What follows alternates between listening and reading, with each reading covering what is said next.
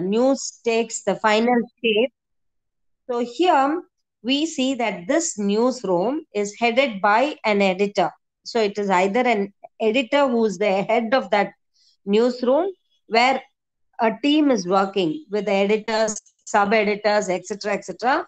So this newsroom is headed by an editor or a chief editor or an editor in chief or a chief news editor. See, the, all, there are different names to these editors. It all depends. The choice of these names depend on the organization. What name the organization is giving them, what name that particular news agency is giving them, whether they can either be called a chief editor, they can either be called an editor or uh, simply editor in chief, like that. Okay. So, what is in a name? uh, ultimately it means they are editors so this newsroom is having a leader a head in the form of a chief editor or an editor it is this head who plans and directs the day's news operations so we already saw that there is something called as assignment sheet where assignments are given to the reporters where they have to go to which place they have to go what news they have to collect and all. So it is the head who controls this newsroom and uh, he plans and directs the activities of that particular day, the day's news operations. Okay. So he will uh, be supported. He will be supported by a team, and this team will have news editors, chief sub editors, senior sub editors, and sub editors, etc. etc. So this news desk they will almost work for all the 24 hours also okay?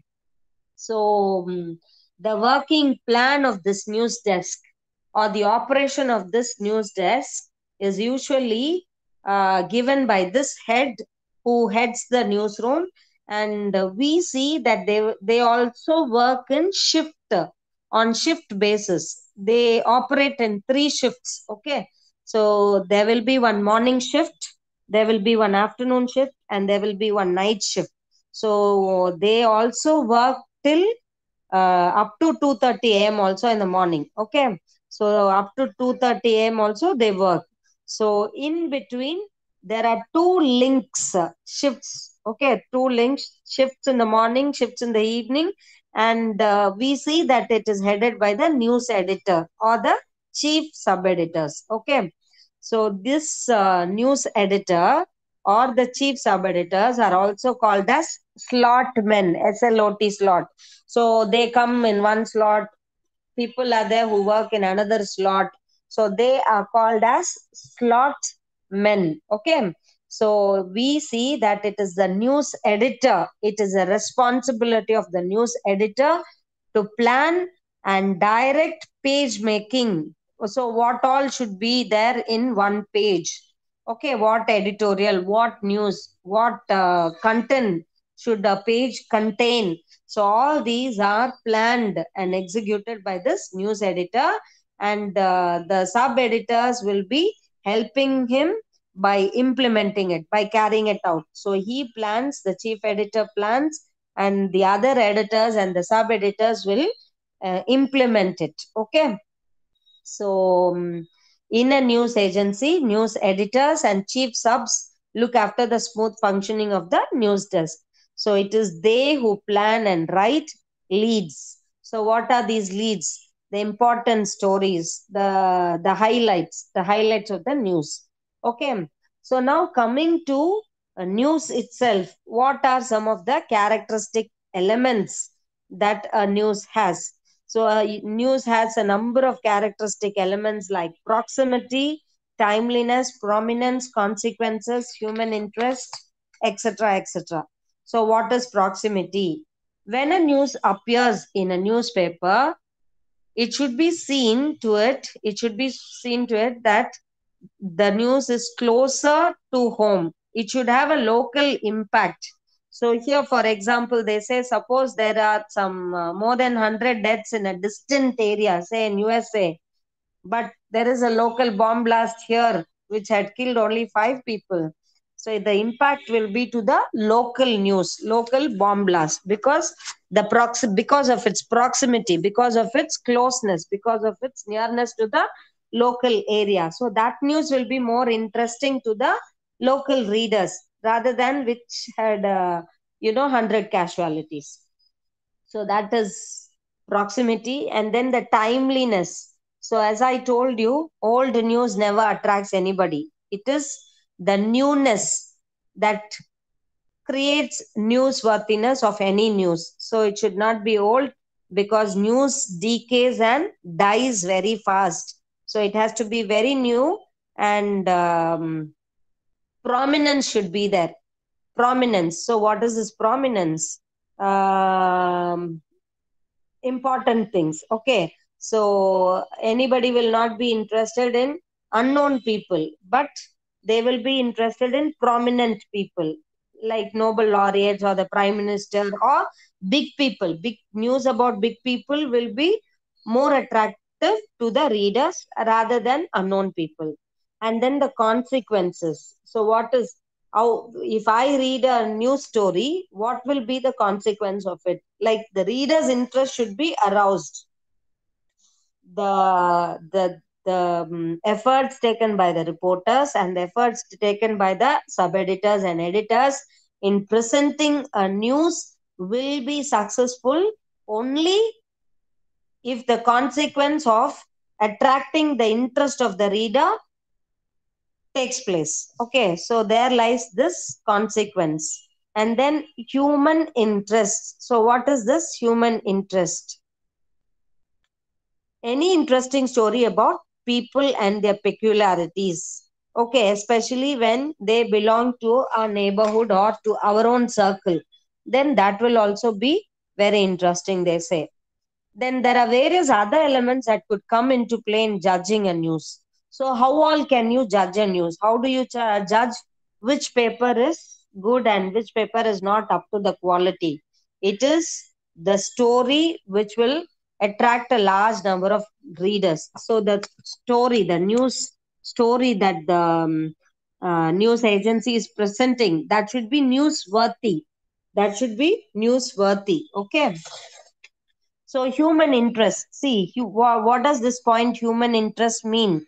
Any story about any people who have uh, individual characteristic traits okay who are known for their peculiarities. So the example that they have given here is uh, if a 30 year old woman with a baby in her arms is trapped in a building on fire okay so see uh, we uh, earlier we said uh, any news that is prominent, any news that is about prominent people, famous people, will attract the interest of the readers. But here they say anything that is of human interest. Suppose we don't know a lady at all, but we know that lady because she is uh, got caught in a building which is on fire with a baby in her arms. So that will capture the sustained interest of a reader. So that that is what explained in this point human interest. Okay. So uh, it is about human beings uh, ge- general people the public. Okay. Then uh, we come to how all uh, person can how all news is being judged. Okay. So here any story that is given by the news agency should be newsworthy. If there is nothing worthy to read then there is no point in us reading a news reading a news story so it should have an impact on the readers. The worth of the story should be in such a way it should attract the readers and uh, sustain the interest of the readers. Okay, that is why usually news about governments, politicians, etc. See, we are very much related to the government and its policies about the actions of the politicians. That is why they receive a lot of coverage than the other unimportant news because we are also closely related to them because whatever policies they take and the way in which they behave and act that will have an impact in our lives also. We are also uh, related to them. So that is why uh, we people are interested in such news. So the impact on the readers. Usually the stories about unusual things, about odd things, about intriguing things, about education, about uh, the policies, etc., etc., make news and it also attracts our attention. And apart from these things, scientific discoveries also. See, now with this COVID 19, all of us are waiting for a vaccine to be produced. All of us are waiting uh, for some positive news about this. So that will also, uh, any news about that or an editorial about that also will immediately capture our attention. So uh, the state and local news always rank as the major focal point in the newspapers and uh, these are followed by accidents agreements pacts announcements between business people between the government between one government and another crime incidents cultural events disasters etc etc find a page on the newspaper and it that those things also are newsworthy now coming to the organizational structures so we see the organizational structure, the structure of a news agency, the structure of the organization is, uh, you know, is varied. It varies from one newspaper to another. Okay, so some of the largest newspaper, largest papers have na- national editors in control of a na- national desk. Okay, so they have a collection of reporters, they have assistant editors who are in charge of covering the entire nation. And then we have sports editors. Okay, we have sports editors. Likewise, we have editors in specialized fields. So um, the organizationals where editors are there and they give their opinion about the field in which they have specialized. So this editing process as, as such is governed by a set of rules. They have their own rules, and uh, these rules are presented in something called as style book. Okay, S T Y L E, style book. So, in the style book, each newspaper agency or each newspaper organization will have a set of rules that have to be followed by the editors while editing while editing and um, you know it will be having rules for all the stakeholders were, i mean not for the stakeholders but for the people who are involved in working in that news agency. So some large newspapers will also have this uh, style book up to where the pages will run up to 200 pages okay? See in some organizations in smaller newspapers the this style book will consist of one sheet of paper only. It will be uh, might be uh, my, it it may not have more than uh, one sheet of paper. But in some organizations it will the style book may consist up to 200 pages okay and it will also resemble a dictionary in format. So anyone can just you know go to the style book and uh, find out what actually is given to given in it and it will be it it is act it, it is actually created in order to help the editors and sub editors so who are the chief keepers of the style book rules? It is the newspapers sub editors okay. So because why why the style book is in the control of the sub editors means because they are the quality controllers. Okay. They are the quality controllers. Whether a news uh, has a high import uh, or whether it increases the reputation of the newspaper or decreases it lies in the hands of the sub editors and editors because they are the quality controllers they look for errors and they bring a news to a final shape okay so anything like, you know, grammatical errors, misspelt words or inaccurate street addresses, you know, this all comes under factual errors. So all these are in the hands of the newspapers, sub editors, and that is why they are in charge of the style book rules. Okay. And then it is also the duty of the sub editor to write a headline so writing a headline is not an easy job. The headline writer um, is usually, you know, uh, entrusted with a very risky job because um, it is a skill, it is a talent where the editor or the sub editor should find appropriate headline which will not be too long or too long or too small and uh, which will not be verbose and uh, appropriate selection of words should be there. So the um, editor or the sub editor should take immense care in choosing the headline for a story because uh, you know in the earlier chapter also we were looking at what a headline is and how it should be written and how much care should go into the headline writing okay? So headline uh, usually uh, brings out the essence of the story. Headlines usually bring the essence of the story and it is the headlines which will easily attract the attention of the readers and which will make us you know go to a particular story. If we are interested in that headline and if that uh, headline captures our attention. So we already saw that there is a method of writing this and we also saw there was another method which is uh, inverted pyramid method where important stories are given in the top hmm? where in, in the beginning important stories are given. And as it goes to the lowest level uh, it goes into other details. Okay so now coming to the format a news story format of a news story news story okay format of a news story we see that it is divided in, we already saw this also. We saw that it was divided into, it is usually divided into introduction, lead, um, body, and also conclusion. Conclusion also will come into this. Okay. So we saw what introduction is. Introduction will briefly explain what that story is about. If possible, it will also summarize in one or two lines what this entire story is going to be about.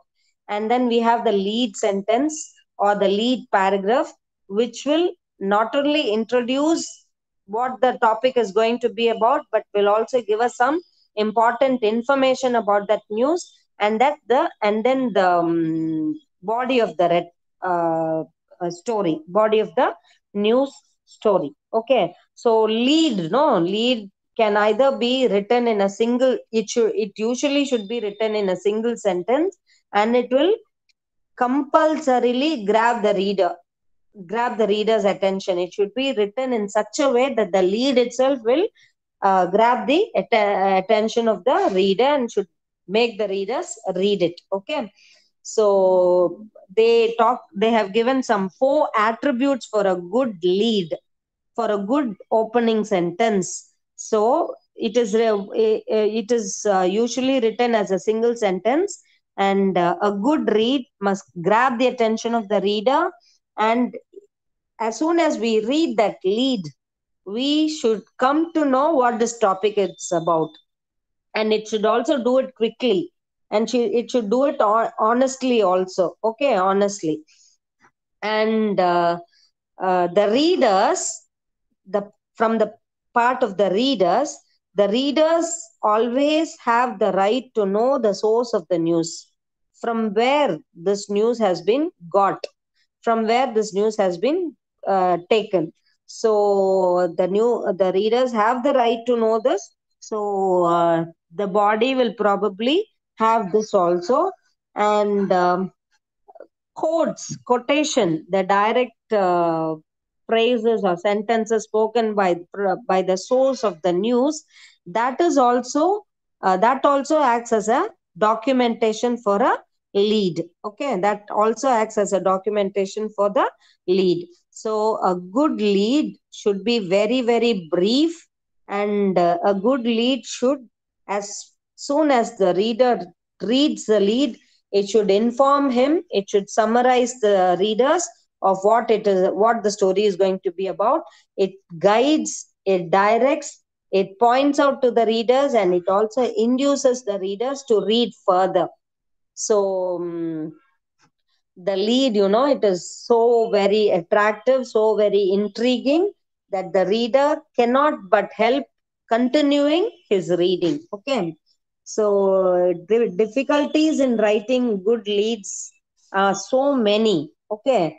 So if uh, if an editor or sub editor fail to come out with a good lead then it will lead to a big pitfall and it will go to the extent of even uh, decreasing the reputation of the newspaper agency. Okay? So um, uh, next thing is like when a news is prepared uh, the opening paragraph so we were looking at the structure of the news. So in the especially in this inverted pyramid structure. Inverted pyramid structure the most important point is kept at the top and the other details follow down. They taper down. Okay? So as we saw um, whatever method it is whether it is the highlight method or it is the inverted pyramid method the essence of the story should come up and uh, usually it begins with the quest answers to the questions. Okay the wh questions and h question where what when and how etc so the opening paragraph will uh, usually the opening paragraph of any news story will usually give the answers to these questions. And the answers to these questions actually forms the news story now coming to this inverted pyramid style they say that a new story okay a new story to be self contained even if paras are deleted at the bottom due to space.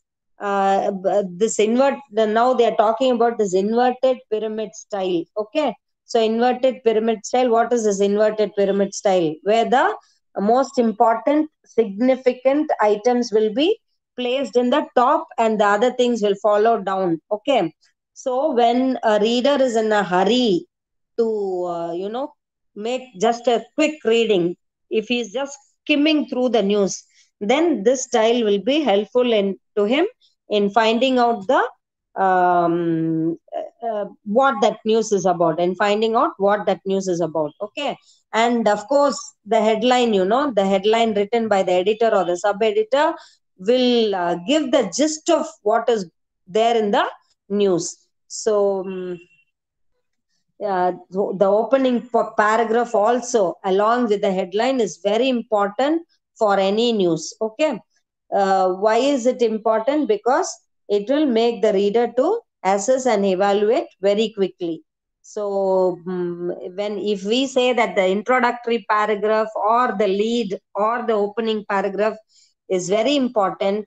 It it does not mean that we are underestimating the other paragraphs that follow. We it, it does not mean that we are underestimating the second paragraph or the third paragraph. It only means that if the first paragraph, if the opening paragraph is very important, if the lead sentence is giving us a gist of the entire story, it means that the second paragraph is only supporting this first paragraph. Whatever is told in the first paragraph, whatever is said in the lead is supported by the second paragraph. Okay, it is supported by the second paragraph.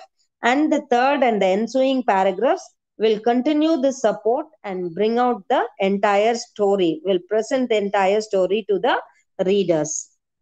So, uh, you know, they say that there are three methods. The highlight method is the first method where the news is highlighted.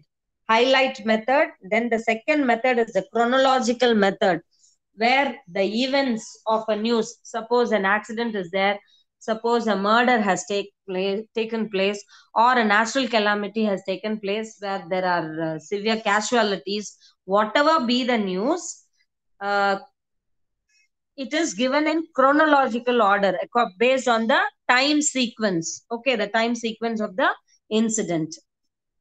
So usually highlight method is used in speeches sports events etc and um, in the chronological order okay uh, that also.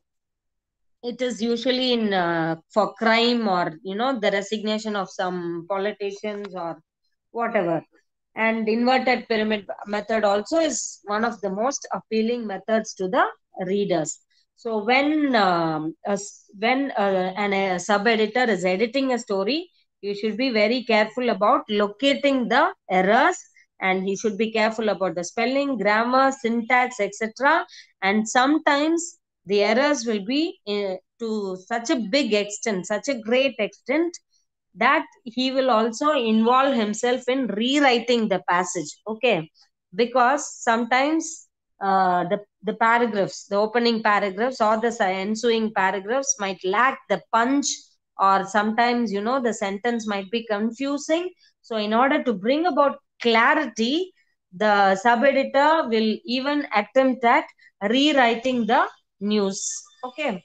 By uh, you know in putting in uh, good headline etc and here on page 89 they have given what are the good uh, you know qualities of a good headline. So there you know uh, whatever points we have discussed so far only comes. So how it should entertain and educate reader how it should capture the interest of the reader immediately it should be quick and how quotation marks have to be used they say instead of double quotation marks single quotation has to be used in order to save the space and articles like a and the and all should be avoided etc etc so some of the points are given there which you can read at leisure. And then coming to the sub editor sub editor editor everybody uh, you know have equal importance only so they say the editors and sub editors will have to be very smart and will have to be always on the watch. They should be vigilant and they should be uh, you know skilled in detecting the faults. And they should take care in uh, correcting the mistakes. So um, when mistakes are there he will be taken to charge. The editor or the sub editor will be taken to charge. But definitely he is not going to be given any credit because he is hidden. He is not um, yeah, you know he is not visible like the reporter but his uh, identity remains anonymous. Okay. So um, on page 91 92 they have given some of the duties of a sub editor what all a sub editor should be doing. So the raw material is given to him by the reporter and he will simply um, you know take it and polish it present it to the reader in such a way that uh, any ambiguities are removed. No, and you know some cliches extraneous words jargons etc etc are uh, removed from the original. In short he will do some tailoring work okay? He will do some tailoring work. He will delete he will uh, omit he will add. So he uh, he adjusts stories to make them objective and fair. And uh, he should be a knowledgeable person also in order to locate factual errors. In short we say that um, he will rewrite and restructure stories. And while doing that he takes care to follow the policy of the newspaper also. So what is this policy of newspaper? Some newspaper may not like a particular political party so um, you know they may be in favor of some political party or they may not like a political party. In such cases he will ad- ad- uh, adapt himself to the policies of the newspaper in which he is working. And he will also try to avoid he he avoids uh, sensation and uh, he deletes doubtful sentences words etc so while doing all these things he has to be very calm very decisive and he should have a sharp memory. He should know to which readers he is presenting and he should be a stable person. He should be a skeptical person also in uh, trying not to accept everything at face value. He should know when a dash should be used and when a hyphen should be used etc and whatever editorials he is responsible in writing should be brief concise sincere and uh, he should see to it that he is not preaching but persuading etc etc etc okay? And uh, when he is trying to write an editorial an article on a controversial subject he should be very careful about the facts and uh, should not put the newspaper into trouble. Okay? He should take care in trying not to put the newspaper into trouble.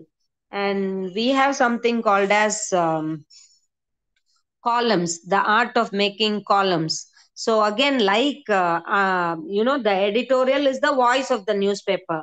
But this column no the term column it is not the voice of the paper uh, voice of the newspaper. It is the voice of the writer. It is the voice of the editor who is writing it. It is not the voice of the entire newspaper okay? So they say you have some uh, types of columns where you have the profile column. Profile column is about uh, the profile of the individuals. And then you have the fashion and fad columns where uh, you know uh, special issues containing features about uh, fashion advertising etc appear. And then entertainment columns are there here again uh, advertisements are there. Question answer columns where you have the question answers. You have the answers for the questions. Satirical or philosophical columns. Uh, and then you have a page you know for the uh, some space left to the letters to the editor. So when an editorial is written or when uh, people read the column and they have some uh, uh, point to argue suppose a letter is written in bad taste or accuses someone of something when it is libelous then uh, the letters will be written to the editor. So that is letters to the editor and then you have cartoon features also. Okay then you have something called as opinion features. What is this opinion feature? It is a feature story in which the writer expresses his or her opinion. So the writer you know the writer of that opinion feature writes opinions gives opinions on his particular subject makes interpretations and draws conclusion. So that is opinion feature. And lastly we have something called as counter point counterpoint. Okay. So what is this? Point counterpoint. It is a very popular technique and uh, it invites individuals with opposing views. See an editorial is written uh, chief that either the editor or the sub editor writes an editorial. He also brings in some persons who uh, gives their who give their opinion. And uh, you have the side by side opinion also presented in that article. Okay. So that is called as point counterpoint so newspapers will have newspaper will have all these features and today mainly we were looking at the role of the editors and sub editors and also the editorial mainly we were concentrating on the editorial aspect of the newspaper okay I'll stop with this. Thank you.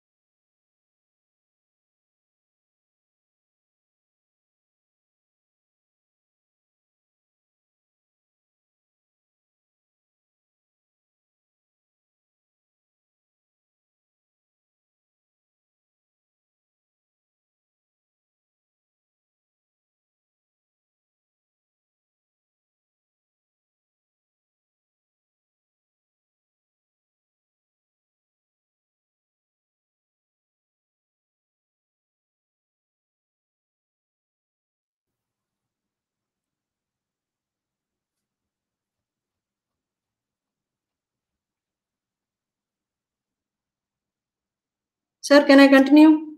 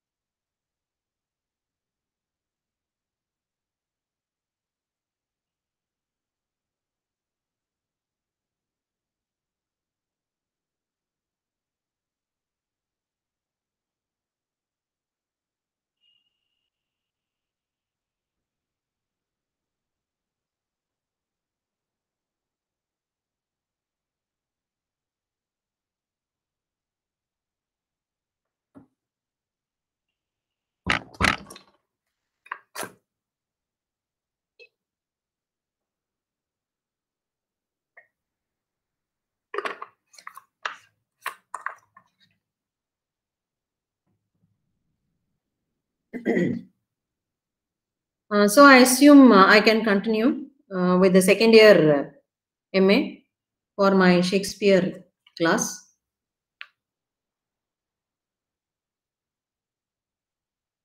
Right. Yesterday we were looking at uh, the tragedies uh, of Shakespeare. We did take a detailed look of Hamlet and then we moved on to Macbeth. So I'm with Macbeth. S- uh, so when we talk about Macbeth, Macbeth, the play Macbeth has five acts and is set in medieval Scotland.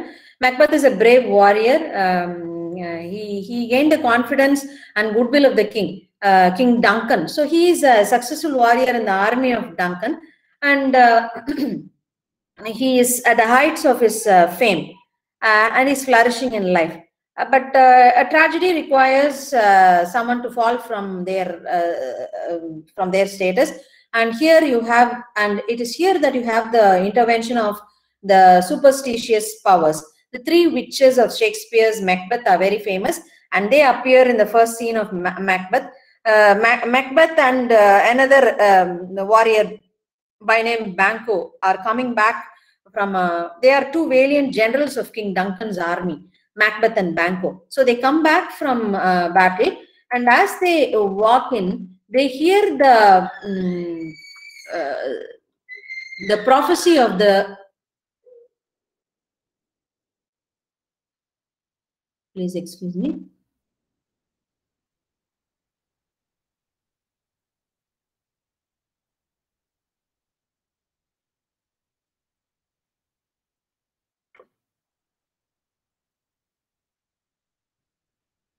So they, they hear the prophecy of the three witches. The witches, the three witches are very famous.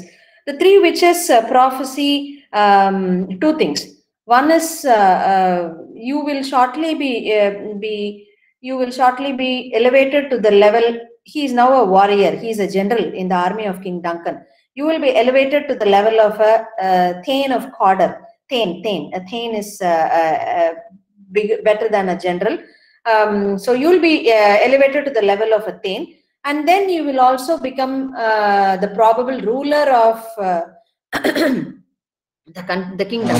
So, th- though um, the, the ruler of Scotland, though in the beginning Macbeth uh, just discards the prophecy of the uh, witches, the three witches, uh, he's a very simple person. Uh, he's uh, just pure and honest.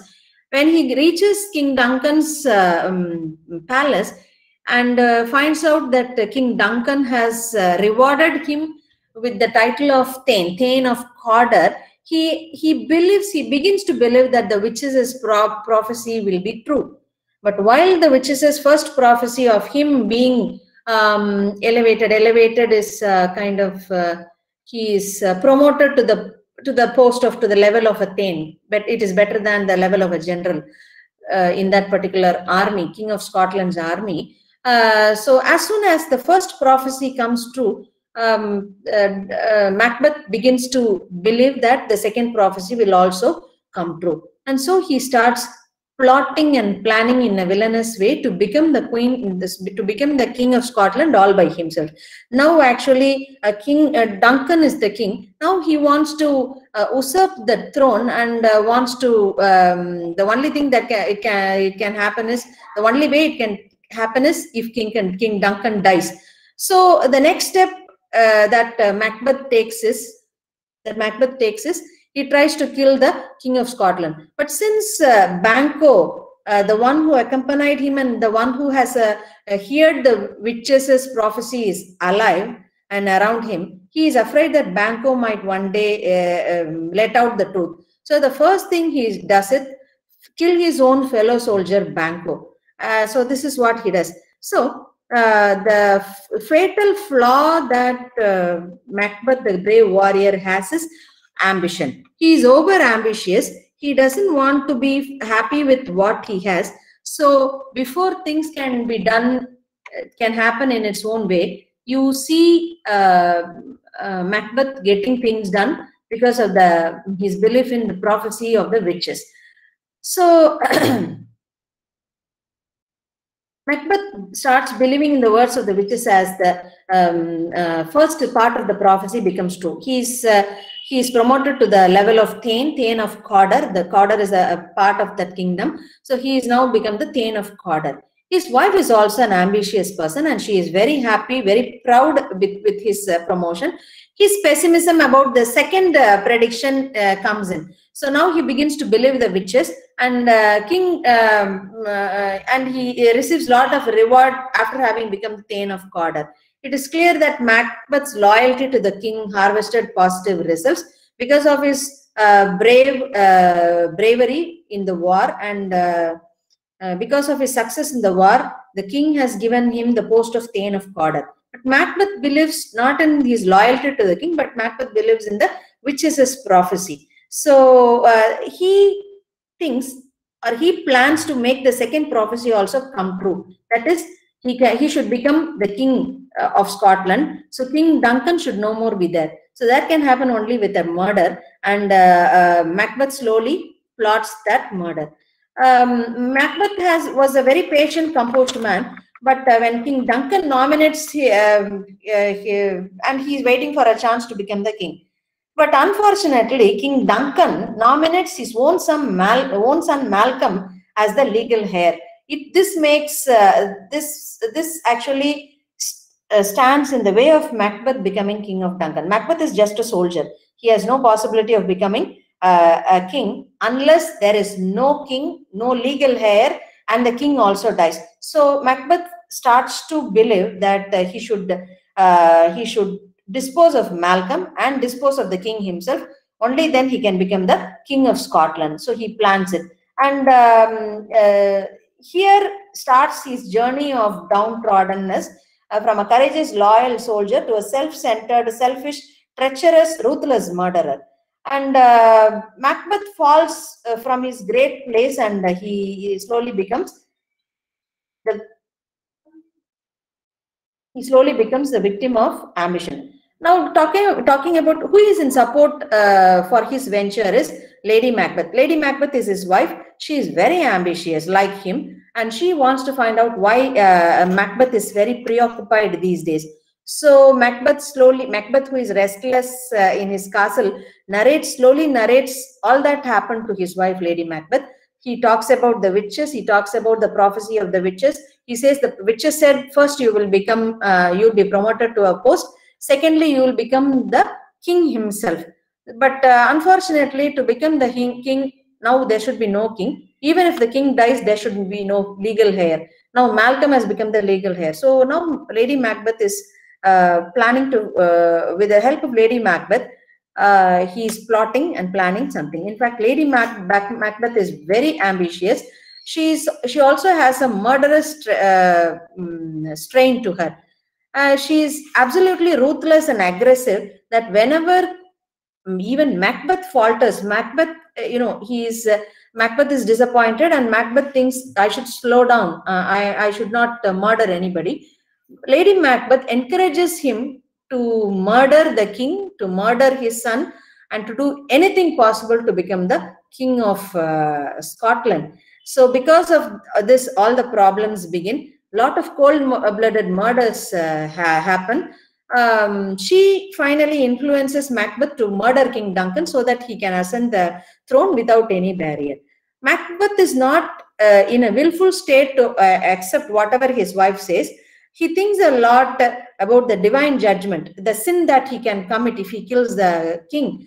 Uh, if not, if not earthly punishment, uh, but uh, he believes that there will certainly be a punishment in the heaven after his death if he kills the king. But it is Lady Macbeth who encourages him, and she plays the contrast of a ideal wife. An ideal wife is supposed to uh, support the husband and then point out if uh, he he does wrong and uh, try to help him walk in the right way. But Lady Macbeth plays the contrast of an ideal wife, and she advises the husband uh, to to indulge in a sinful act like even murder uh, uh, and become a mm, the king. So she supplies uh, sleeping potions to the guards of King Duncan and when they are found slept, she pesters Macbeth to kill the king. So she is an active participant in this murder of the king. So Macbeth, even in, at this point, is not prepared to kill the king. But uh, she is so angry and she says, this is a rare opportunity to find uh, the, the security guards of the king themselves drunk. So please go ahead and you kill the king. Macbeth, with a little moral fear in the corner of his mind, he musters the courage or the audacity to murder King Duncan while he is sleeping. Uh, so once King Duncan is, uh, is dead, uh, Macbeth's problems start cropping up very quickly. Uh, so what happens is uh,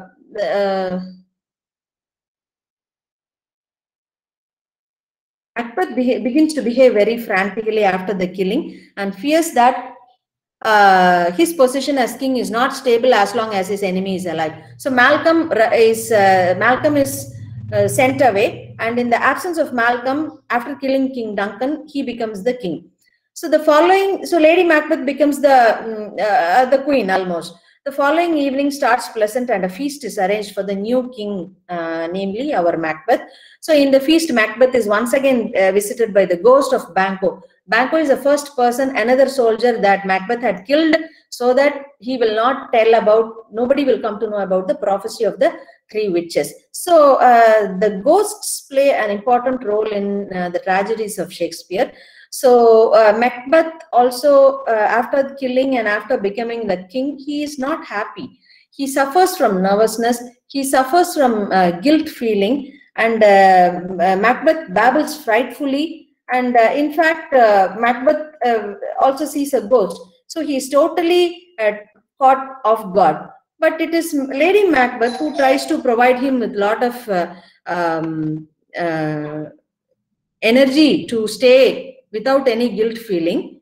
And she tries to encourage him. Slowly, the pressure of having killed so many people uh, fall on them. Uh, there are uh, very unpleasant developments in his regime Macbeth decides to meet the three witches again to collect some clues to continue the crown without any further turbulence.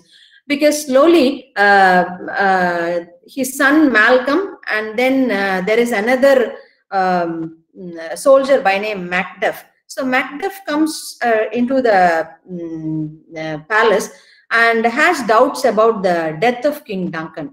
He believes there are other forces which have been behind the uh, killing of King Duncan and so Macbeth decides to kill Macduff too. So Macduff is close by. He is also a great soldier. But Macbeth plans to kill Macduff. So Mac Macduff understands this. He suspects Mac Macbeth about this villainy and he escapes. But uh, what Macbeth does is Macbeth kills Lady Macduff, Macduff's wife and her children. So, so this is more sin added to his already sinful uh, uh, life. So a lot of killing takes place. Uh, first was Banquo, then it was King Duncan, and um, also some uh, safe, uh, some um, security guards who have been guarding the king. And now it is Lady Macduff. Actually, Lady Macduff is nowhere in the plot, but Macbeth finally kills Lady Macduff and her children so that Macduff uh, the soldier will not interfere with him. So, um, but still he is very uh, desperate to find out if there is there will be any problem. Uh, and he wants to keep away all the confusions and turbulence that is associated with his becoming the king. so he wants to meet the witches. Three apparitions appear in front of him once again. Once again, the superstitious element in his uh, poetry, uh, sorry, his uh, writings come up. So the three witches or three apparitions with newer prophecies await for Macbeth.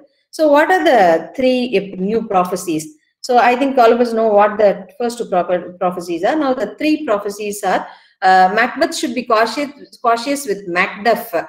Um, so that is the first prophecy. Uh, Macbeth and the second one is Macbeth cannot be endangered by any woman, any man who is born of a woman. So Macbeth should be frightened or should be very careful only with a man who was not born of a woman. So all men are born of women. So Mac Macbeth is unable to understand this prophecy. And lastly, uh, the, the apparitions prophecy is Macbeth would face serious life-threatening problems only if Birnam Wood, Birnam Wood is the wooded forest area around uh, the, the castle, castle of uh, uh, the Scotland, the, the king of Scotland. The castle is, the name of the castle is Dunsinane Castle. So Dunsinane Castle, if the woods, if the forest area around the castle, around the palace moves, then Macbeth should be very careful. So these are the three prophecies that, that uh, Macbeth is given by the apparitions. He still, uh, he thinks okay every man is born of woman so nobody can uh, you know endanger me. And uh, Birnam wood is a huge forest. Forests don't move, forests don't move so nothing can um, you know trouble me. Macduff is has now run out of scotland so he's not going to come back and threaten me.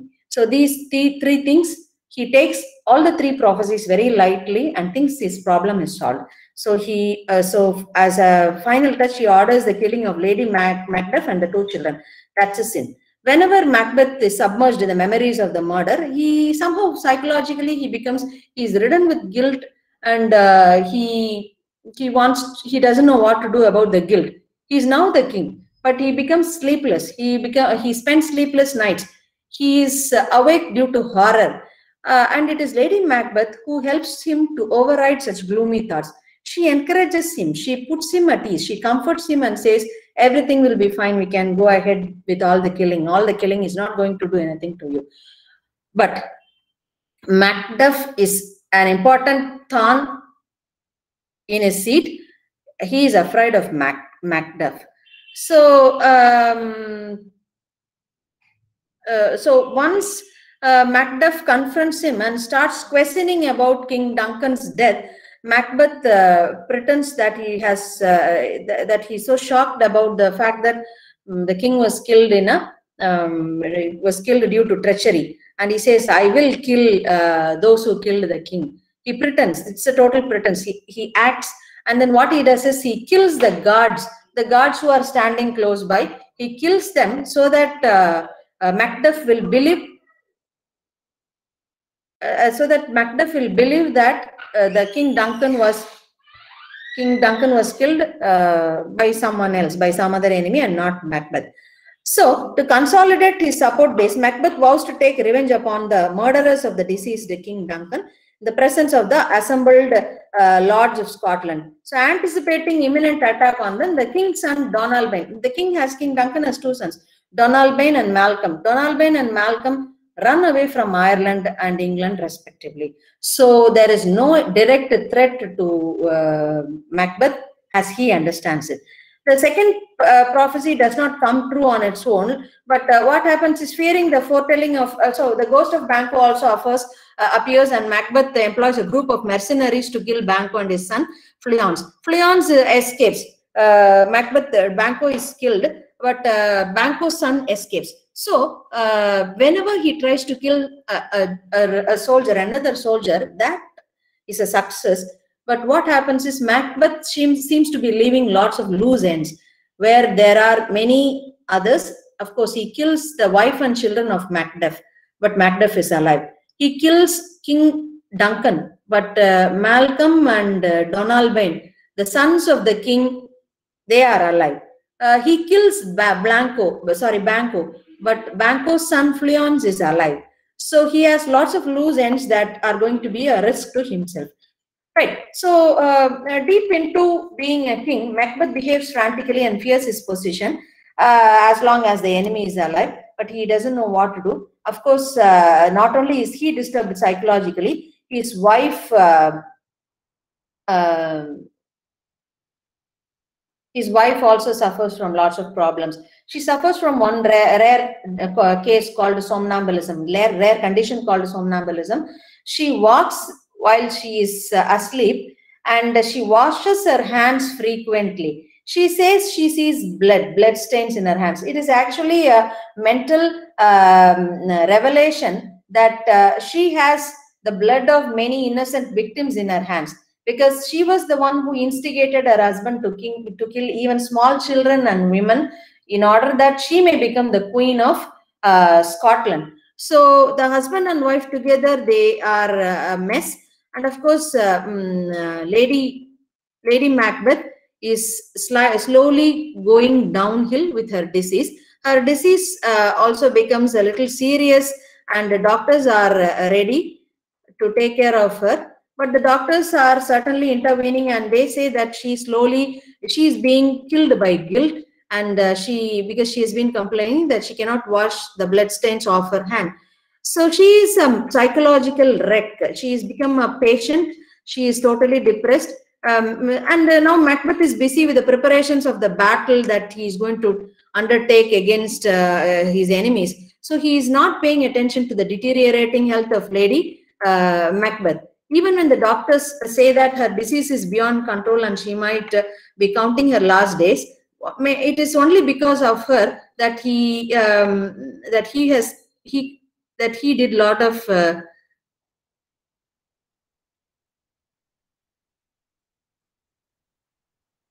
he does a lot of uh, you know cruel things. But um, macbeth doesn't seem to be uh, you know paying any attention to his wife and of course, while, while he is concentrating on the war, on the other side, his wife, Lady Macbeth, dies.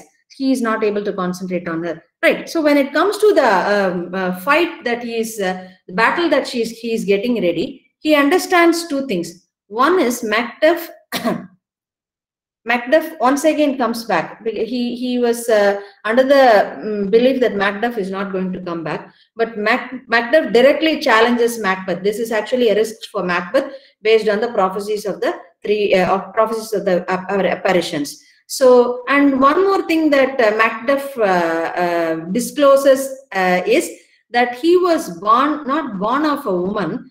he was untimely ripped a cesarean section uh, happened to his uh, took place for his mother.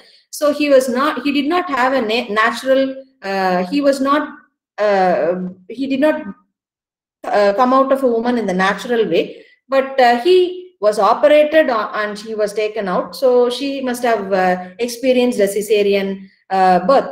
So so the prophecy of the which is that macbeth will be killed not of a, a, man who was born of a woman, but uh, with a, by a man who was not born of a woman in the natural way comes true. So Macbeth uh, now understands the risk. So Macduff is not like all the other uh, soldiers who has had a uh, who have be, who were, who were born out of natural birth. And moreover, one more thing is he understands that Macduff's strategy to get closer to the palace is also another thing. Macduff actually uh, camouflages himself and his soldiers uh, by cutting branches out of the Birnam wood forest and uh, he moves closer to the palace, the duke's, sorry, the king of Scotland's palace, castle.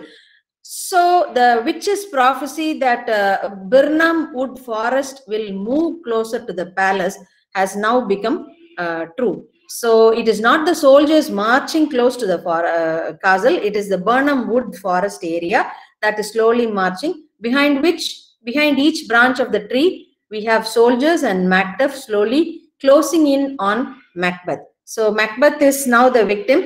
And uh, of course, um, uh, Macduff kills Macbeth in the fight, in the battle, and Mac- Macbeth meets his end. The play ends with Malcolm being crowned as the new king of Scotland. So Malcolm is actually the legal heir, the king of King, uh, the son of King Duncan, who was killed uh, uh, very uh, in a very in a treacherous way. And now Malcolm, with the help of Macduff, uh, the loyal soldier, becomes the king of Scotland, and Macbeth meets his end. So the mm, Mac- Macbeth meets his end. The major flaw that Macbeth suffers from his is his ambition. So he could have been happy, he could have been contented with him being promoted to the level of a Thane. But uh, um, what happens is he is too ambitious that he wants to become the king himself, uh, even at the cost of killing his own king and uh, the legal heir of the king. So this particular the flaw will is an important thing uh, that we have to remember when we uh, deal with questions and answers.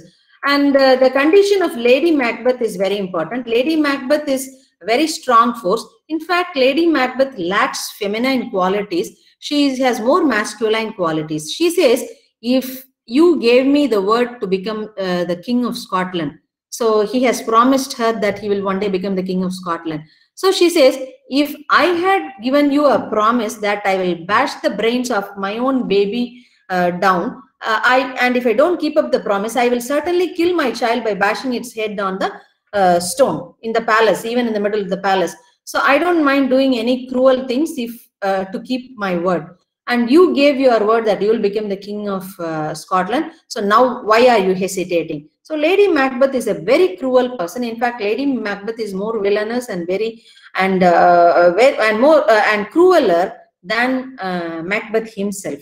Uh, she is and her suffering from somnambulism, her suffering from um, guilt uh, consciousness is another important psychological aspect of this particular play. So the psychological uh, aspects of uh, Macbeth, uh, the play Macbeth, uh, you will have to explain the condition of Lady Macbeth, how strong she was, extremely strong, stronger than her husband um, Macbeth. But later she falls down to the level of a patient, a mental wreck.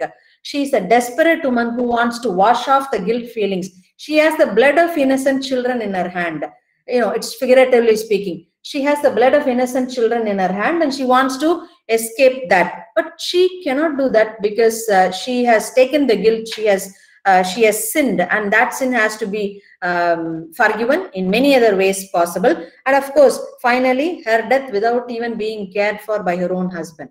And her husband also dies in the hands of Macduff, another loyal soldier, for all the treachery that he has done to his own king, King Duncan. Uh, Lady Macbeth, in fact, ridicules her husband by calling him, How can you be so uh, less courageous? When you give a word, you have to keep it up.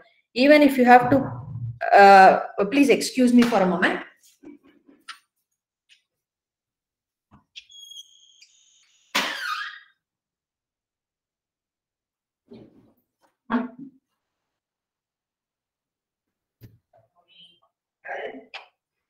Uh, sorry for the interruption, please.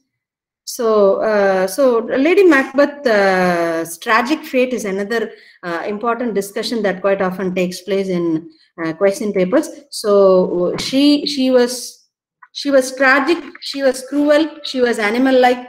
So she had to face a tragic uh, end. So this is how we'll have to give um, uh, we'll have to justify her end. So Shakespeare's uh, Shakespeare has portrayed many women, but uh, here we have a very strong woman. Of course, she is villainous, but the theme of gender role swapping is persistent throughout the play. This play, you have one more is gender role swapping. That is, uh, she becomes uh, the he and uh, he becomes the she in many places. Macbeth actually plays a feminine role, and Lady Macbeth tends to play the opposite. She is more masculine. As Lady Macbeth influences her husband to commit the murder, she proves that she holds masculine characters. Uh, she almost rules her life partner and dictates whatever he has to do. Actually, he is a very balanced man with uh, ethical values, but she doesn't allow him any ethic uh, to even think in ethically, morally, or socially.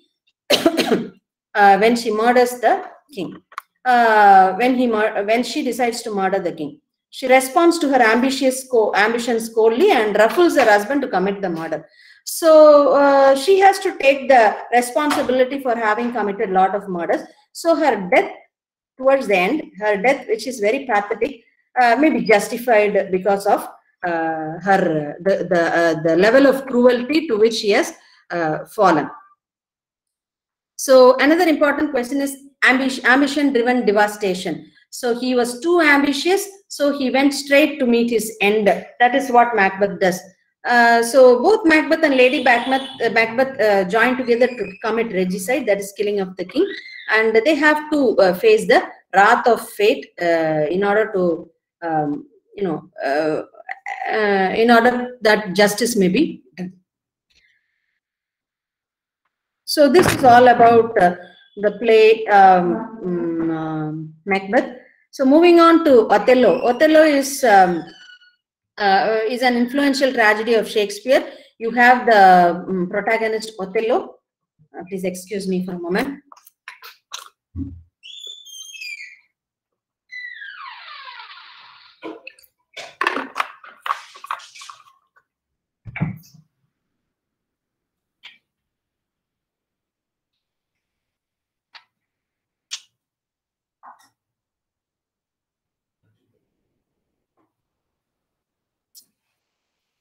Yeah, sorry for the interruption. So you have a superior uh, hero uh, by name Othello. He is also a general. Um, uh, the, the, the scene is Venice. So you have another character. Okay, right. Othello is a general. He is a Moor first. And we have Roderigo, a young man who is in love with a very beautiful uh, girl by name Desdemona. Desdemona is the daughter of senator of that particular uh, kingdom, Brabantio. Brabantio is the senator. Senator Brabantio's daughter is Desdemona. Now, Desdem uh, uh, there is a young man by name Rodrigo. He is in love with Desdemona. So the action takes place in in Venice, and uh, mm, you have Othello in the center of this particular setup and uh, uh, since he is a soldier he is always in the in the in the company of other soldiers. He is helped by iago another servant of uh, othello. So iago is a iago is the villain of the cast. Uh, iago is an uh, ensign of uh, othello. He is a servant or he is a he is a page boy of othello. He is an assistant to othello so iago promises roderigo the young man um, that he will get, uh, he'll make sure that Desdemona falls in love with him. So um, he knows the secret that Othello is also in love with Desdemona, and he uh, is uh, and he and he works at winning the love of Desdemona to Othello. But uh, what happens is uh, there is a fresh rumor that Desdemona has eloped with Othello the Moor. So Othello is a great uh, soldier, but he's a Moor. Uh, hence, uh, Roderigo and Iago informed Senator Brabantio about the elopement of his daughter with a Moor, leaving the job of confirming the story with Rodrigo. So, without confirming the story of elopement, because no one knows whether the elopement really took place, Iago vanishes immediately and tells Othello of Brabantio's reaction to his elopement with Desdemona. So Iago is uh, is the villain. Iago is the treacherous villain. He does not want Othello to sense his. Actually, he hates Othello he is under the employ of Othello. But what happens is Iago, Iago hates Othello and uh, now he is passing uh, the wrong information to Othello and on the other side he is also uh, instigating Senator Brabantio to be very angry with Othello for having taken away his daughter. So uh, inwardly, Iago detests, hates Othello because he passed him over for the position of lieutenant. So um, mm, Othello is a lieutenant but uh, but Iago uh, is uh, many steps behind him in the order of soldiers. So Iago at every step plans to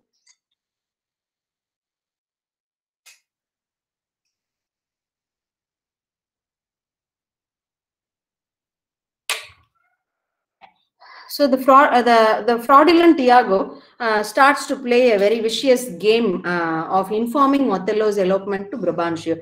On the other side, he tries to tell Othello that uh, Brabantio is trying to kill Othello. So on all sides, he has made sure that everybody is angry with uh, each other. He tries pitting them against each other. So uh, there is a messenger by name Cassio. He brings urgent message for Othello that the Duke uh, uh, of, uh, expects Othello's immediate help as there is an impending Turkish invasion, invasion of Cyprus. So Othello has to go back to his Duke, his master, to see what can be done from the war in the war front. Um, so uh, um, there is a senators meet that takes place. Brabantio accuses Othello that he has taken away his daughter. Desdemona appears with Othello before the Duke of Venice, and all three of them have their own best justifications. While each of them accuses the other, there is also in learning the truth, the Duke favors Othello. Othello, Othello gives him the ju right justification, and uh, the Duke of Venice accepts uh, Othello and Desdemona's life together. And actually, uh, Brabantio, the, the senator, is is unhappy with this. So the, uh, the there is a battle going to take place with the Turks, and Othello becomes very busy with that. Othello has to leave for Cyprus, Cyprus right away, the city of Cyprus, and Desdemona wishes to accompany him, but uh, she cannot do immediately. She may follow him uh, in another ship. And this uh, is the problem. And here comes the main flaw of uh, Othello. Othello's flaw, tragic flaw is suspicion. He is always suspicious.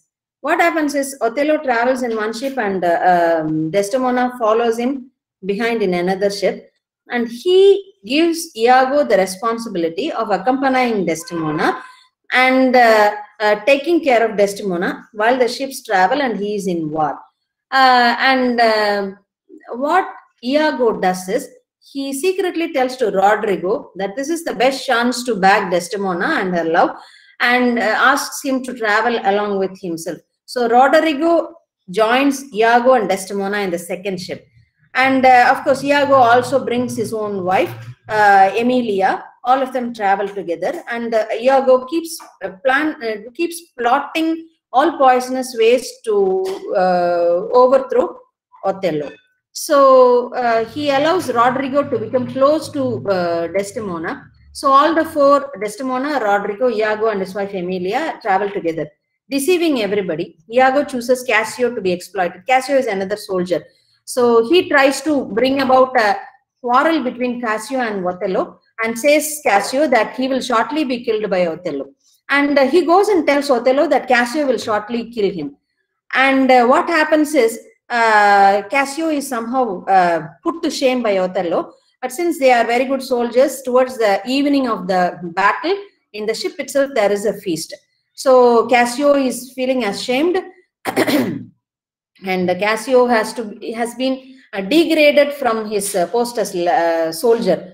So, so what happens is he is requesting Othello to forgive him and give him back his post. In the middle of this, Iago talks to Desdemona and says uh, that she has to talk in favor of Cassio.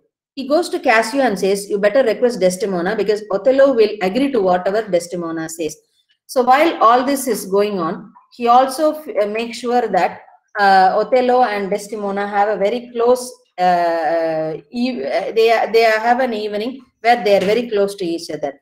Uh, and, uh, and he also manages to take a handkerchief that Othello has given as a gift to Desdemona and uh, to be planted in Cass Cassio's place.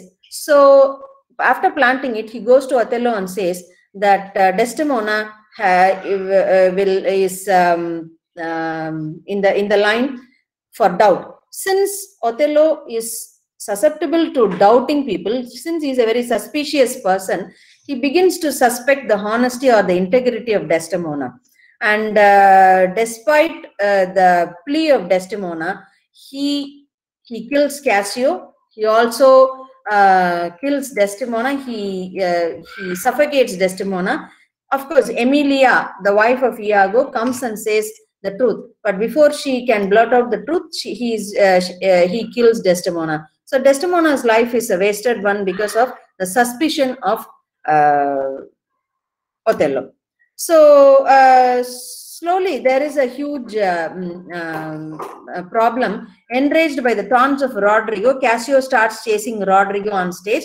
uh, when when the governor tries to pacify Cassio, he stabs uh, the governor himself. So how do the how do all these characters die? When Othello uncovers about this disorder, Iago, with a pretentious reluctance, tells him that Cassio is behind everything. So Cassio slowly uh, loses his uh, loses his position in the army. Iago unknots his villainy, telling Othello that Cassio and Desdemona have an affair. And uh, he tells to Roderigo that he can get Desdemona. He goes and tells Othello that Desdemona and Cassio, uh, Cassio are having an affair. Othello slowly becomes very angry with Cassio. So Desdemona's kerchief that was a gift from Othello is being planted in Cassio's room. So when Othello sees that kerchief in Cassio's room, without further enquiry, he is assured that Desdemona is having an illicit relationship with Cassio and he kills Desdemona. Her appeals strengthens Othello's hasty verdict that his most loved Desdemona is adulteress. So he goes and kills uh, Desdemona. But uh, by the time he understands that he is uh, actually a victim uh, and he suffers from guilt, the damage is already done. Desdemona is no more.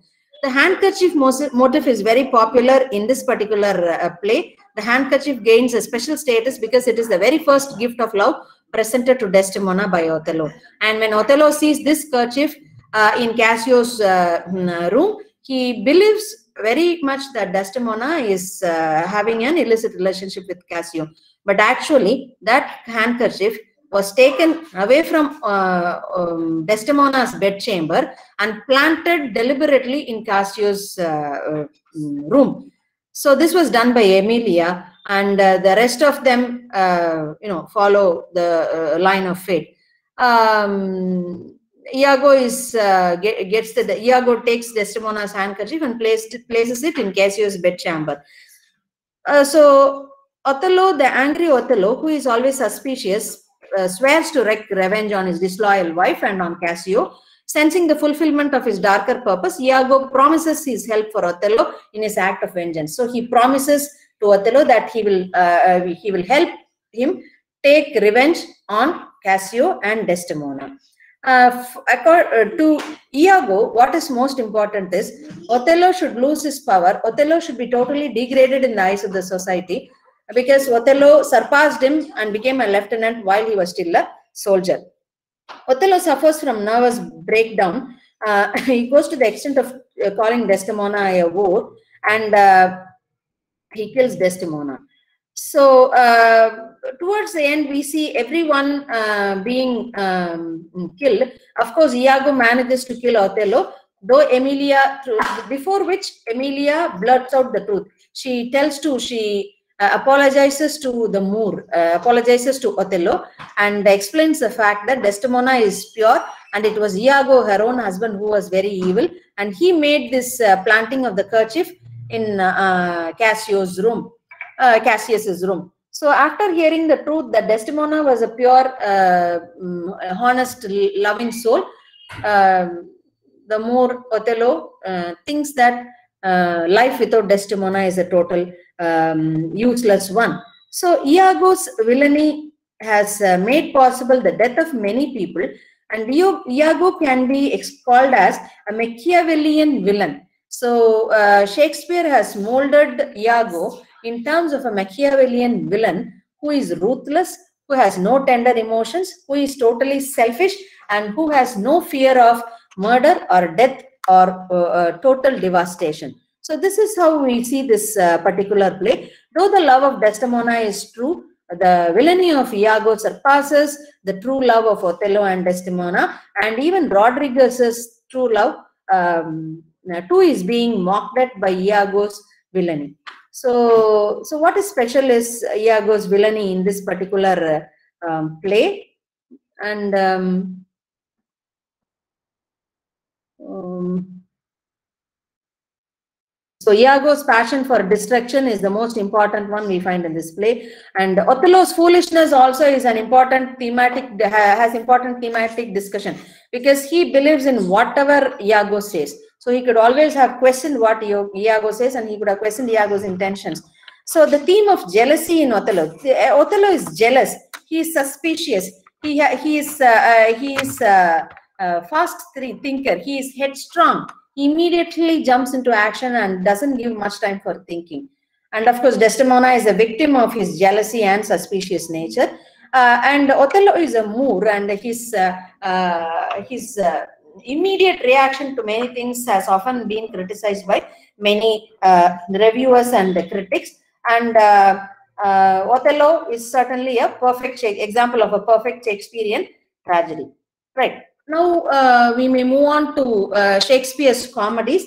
So when we come to Shakespeare's comedies, that was for the previous discussion was discussion of Shakespeare's tragedies now, in um, Shakespeare's comedies, uh, it's actually non-detailed study. We have three comedies uh, for our, prescribed to us, uh, given to us in the syllabi. Uh, so, as you like it, The Merchant of Venice and Much Ado About Nothing. So, what is uh, special about uh, all these three comedies? There are a few common aspects when it comes to comedies, Shakespearean comedies maybe we'll take a look at it today and move on to the exact comedies proper tomorrow. So comedies are to entertain and tragedies are to educate the audience. So this is how uh, Shakespeare's comedies have been described. Shakespeare's tragedies are to entertain the audience and certainly not to educate. So, um, so um, so in the in the case of comedy, uh, the plot is very important, and comedy relates to thought and not to feelings. Tragedy relates to feeling, but comedy relates to thought. And uh, uh, comedy usually deals with women, whereas tragedies uh, tragedies represent the world of men, like Othello, King Lear, Hamlet, and Macbeth. It is all the world of men that is being represented, whereas tragedies usually deal with uh, men, many women. We'll, we'll take a look later when we go into them. And uh, it is important for witty dialogue and well known for its witty dialogue and satire, the uh, comedies, uh, whereas tragedy is full of high drama and long speeches. So wit and dialogue plays an important role in tragedies. Satire is an important aspect of uh, uh, comedy. The wit and dialogue is an important aspect of comedy, whereas long speeches are the of uh, Shakespearean tragedies. So what are the characteristics of Shakespearean comedy? You have young lovers struggling to get through problems. There are mistaken identities. Uh, you know, they try, they try to, uh, they often come in um, uh, with, with a different identity and there is a slight confusion. That is the basis of, from which com the comic strain appears. Uh, there is there is deliberate disguise, uh, especially women disguised as men and getting into the world of men. Uh, they seem to be equally efficient as women, uh, as men. As men. Uh, so deliberate disguise is an important aspect of Shakespearean comedy. Uh, sometimes, and um, so not sometimes, most often in Shakespearean comedies, the servants and fools, fools of a court or servants of a very rich person, are um, smarter, wiser, and more intelligent than the uh, beautiful, rich heroes.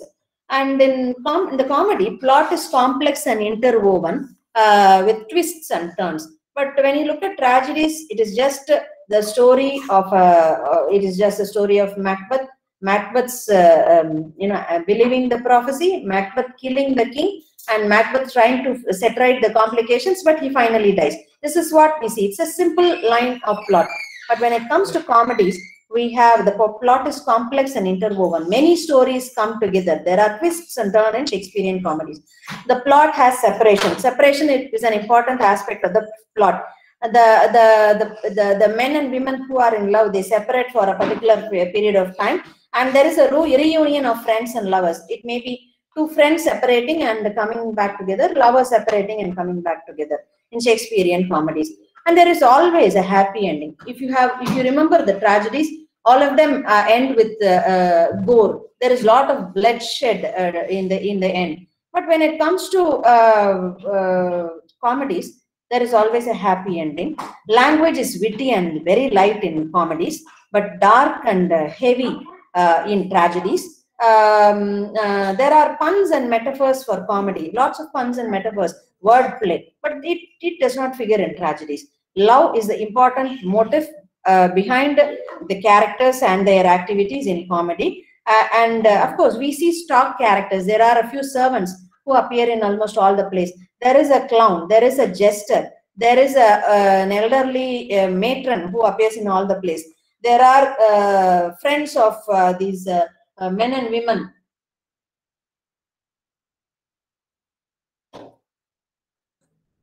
and uh, music plays an important role in the uh, uh, in in Shakespearean comedies.